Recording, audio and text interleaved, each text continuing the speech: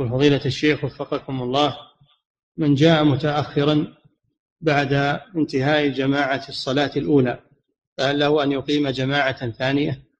نعم لا بد من إقامة جماعة ثانية. إذا اجتمعوا بعد فراغ الصلاة فلا بد أن يقيموا جماعة ثانية ولا يصلون متفرقين. نعم.